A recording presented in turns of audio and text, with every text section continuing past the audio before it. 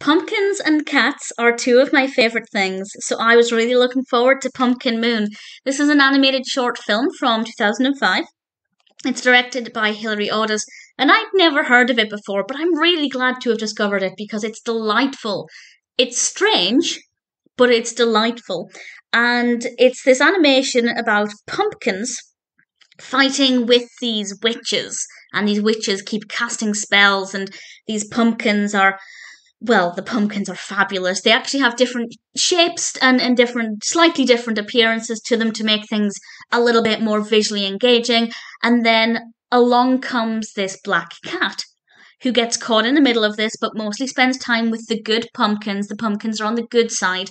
The witches are are using their evil spells, and it's it's fabulous and really delightful. The animation quality, the style of the animation, it's absolutely stunning. I love the pumpkins. I love the black cat. The witches have a kind of a funny appearance, not in a bad way, just maybe not necessarily what I was expecting, but they certainly look really great, very, very engaging. The cat is absolutely adorable, and I just, I love the whole scene. There are not many humans in it.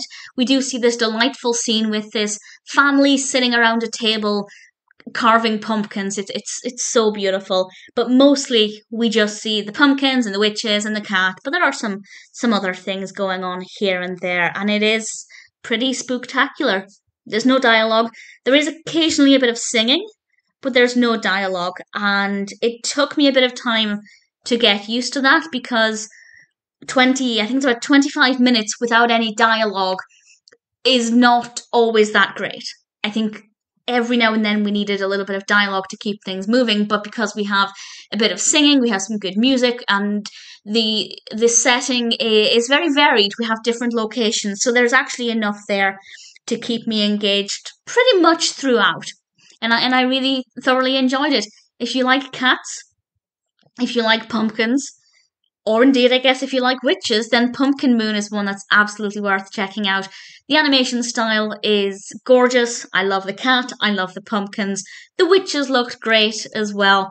It's a nice little story.